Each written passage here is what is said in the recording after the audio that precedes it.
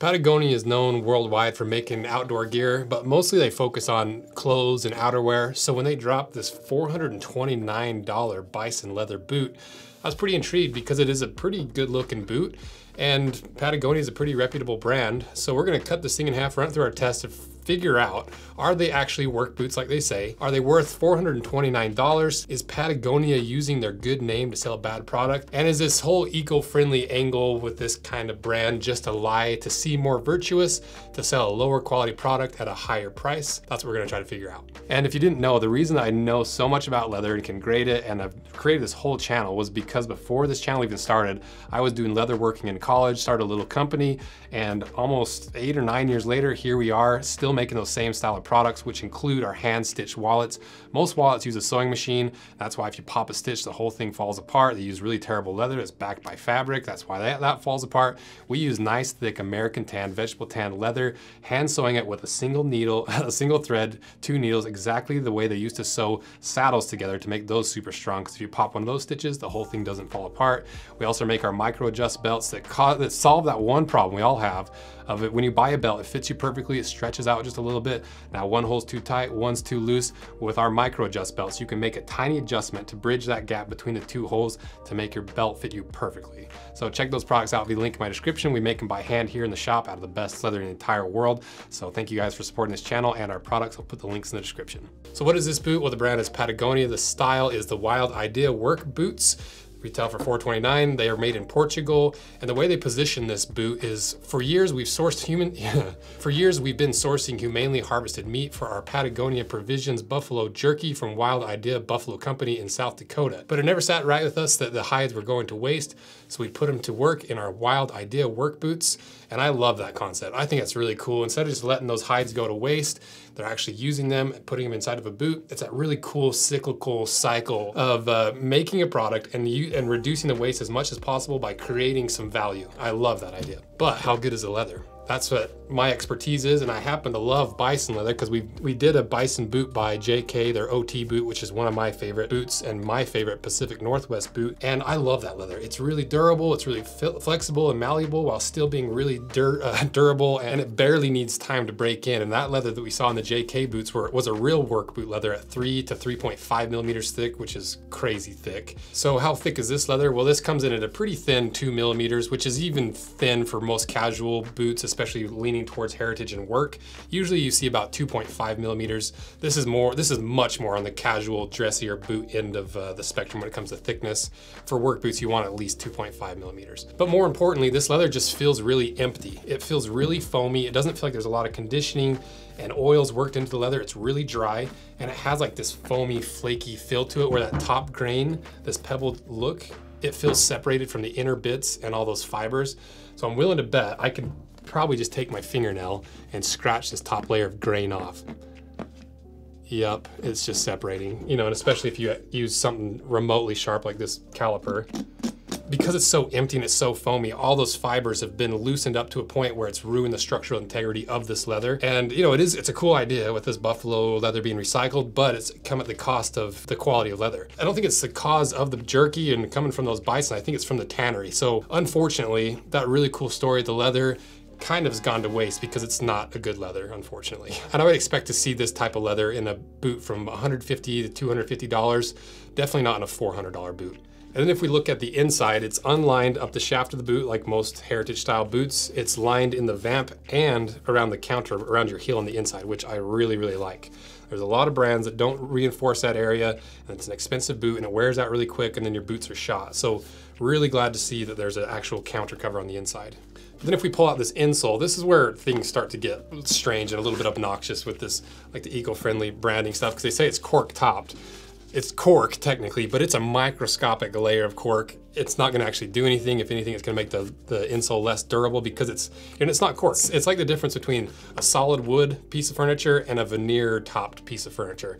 You get the look of wood without any of the, the value and substance of real wood. Similar with this, it's not cork. It's just, it's the facade of cork. But then if you look underneath, you have an open cell foam. And then this is maybe where a lot of people would assume this is cork, but we put the macro lens on it and I don't think it's cork. I think it's just recycled foam and uh, rubber essentially. For instance, if you actually worked in these, they'd probably only last you a couple months because they're already falling apart and splitting. Just by bending it, you can hear it coming apart and splitting. So imagine if you actually worked in these, like they're positioned as work boots, these, these just wouldn't last long. And so would you rather have an eco-friendly insole that's gonna be thrown to the landfill in a couple months or a higher quality insole that's gonna last you a few years, then it gets thrown to the landfill? What's, what's more eco-friendly? Because to me, there's a case to be made that trying to make this insole eco-friendly is creating more waste by making a product with a shorter lifespan that would need to be replaced sooner rather than a regular insole.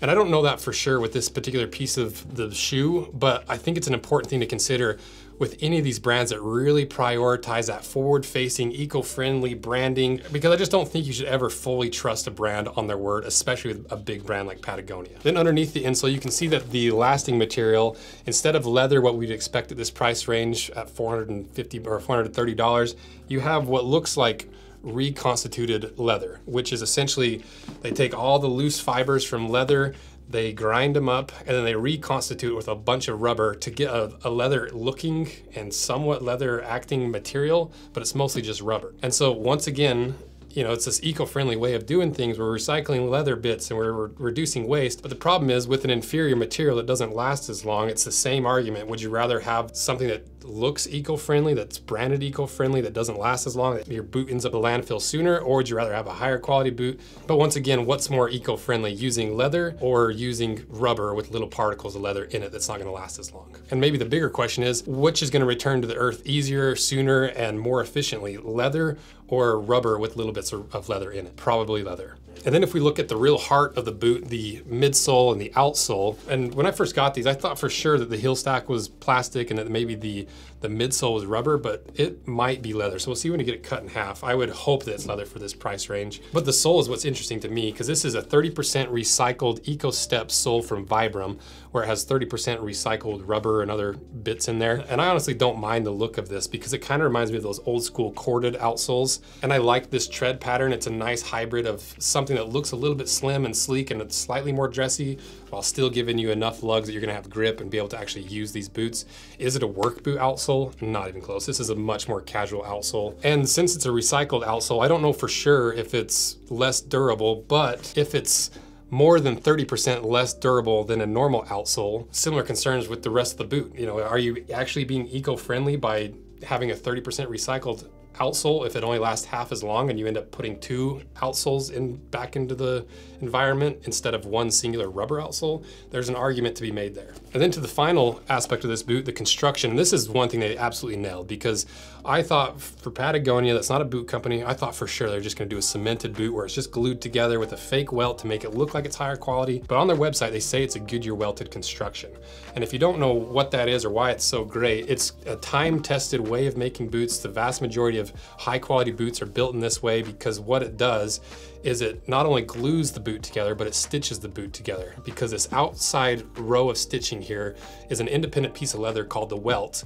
And that welt sews the upper of the boot to the welt and then the welt sews down through the midsole, binding all the most important bits of the boot together with really heavy, strong stitching. If it's actually Goodyear welted, and we don't actually know. So let's cut this thing in half, see what's on the inside, and see if there's any other issues that Patagonia is hiding on the inside of their boot.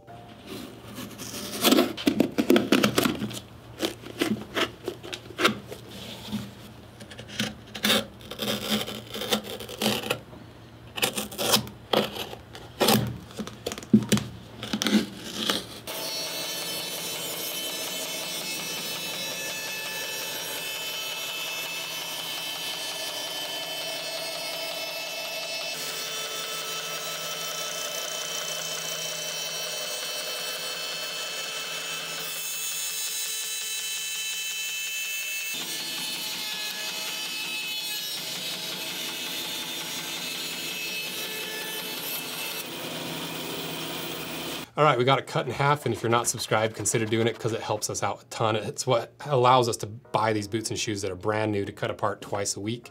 So let's see what's inside.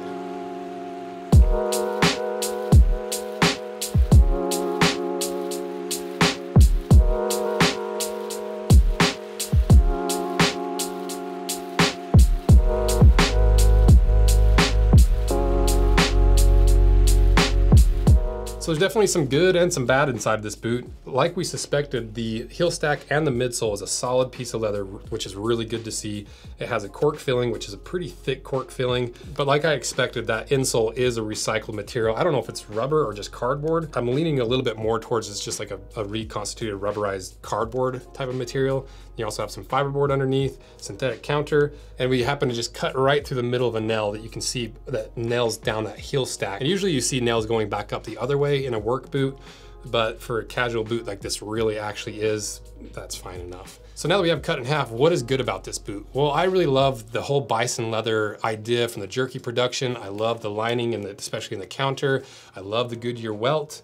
I love the cork filling and the leather heel stack and midsole, but, but there's some things that I don't think should be in a $429 boot, like this leather. Even though it is that cool bison leather, that cyclical thing, it's a pretty terrible, flaky, and fragile leather. I really do not like that reconstituted insole. It's just gonna wear out faster, and it's it's an integral part of the, the boot, and to rebuild that, if it ever breaks or splits, you gotta tear the whole boot apart, and it's gonna cost you more than just buying a new pair of boots. I'm not fully sold on this outsole, even though I like the look of it, but you can see how much recycling is actually going on on the inside of this. Um, I just have concerns about the longevity of it. And then just generally, I think it's not the most attractive looking boot. The, the last they chose is really big and bulbous and the, the toe is really tall. It's just not the most handsome boot, but that's obviously subjective. So now, are they actually work boots? No, these are not even close to being work boots. They're clearly casual boots. I don't know why they called them work boots. Maybe it's the style that they were trying to emulate, but uh, I don't think these last very long for people who actually work manual labor jobs on a manual labor job site. They would not last long. But are they worth $429? I don't think so. I really think these boots should be priced somewhere between 250 and $300. They're around the same quality as Thursday, maybe just a little bit higher quality. Maybe, there's an argument to be made. It's probably like a $250 boot. And I'm sure that these eco-friendly things and these initiatives and materials don't cost two times the price of normal higher quality materials. So is Patagonia using their good name to sell a bad product? I think they're using their good name to sell an overpriced product because it's not a bad boot. It's pretty well boot. It's just really pricey for what you get. But is this eco-friendly angle just a lie to seem more virtuous to sell a lower quality product at a higher price? It sure seems suspicious. It feels like there's some dishonesty going on here. And I, I think there's an argument to be made that they aren't eco-friendly. And just because something says it's eco-friendly doesn't mean that it is in the grand scheme of things.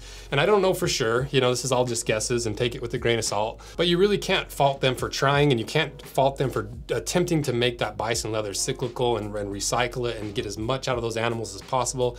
I think that's really awesome. I really respect that. And I think despite the issues with this boot, I think it's it's praiseworthy that they're, that they're doing that. It's just a bummer that the leather turned out really bad. So more than anything, to me, the takeaway from this video is just don't trust brands on their word, especially on these really expensive brand products that are positioning products in a certain eco-friendly, virtuous way. Just use your brain, just think about it, just look at the materials and don't blindly trust these brands just because they said they're trustworthy. And I think you could argue at this point forever because there's so many different perspectives. You could take it from the small perspective of just the boot's lifetime, take it from the big perspective of the entire leather industry and uh, manufacturing of rubber and all this stuff. It's, it's a tricky conversation. There's no concrete answer. But for me, I just lean towards using high quality, trusted materials and techniques that have been around for generations that you know are gonna last a really long time to reduce your environmental impact in that way.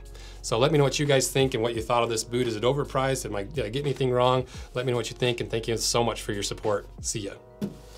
Thank you. Thank you so much for your support.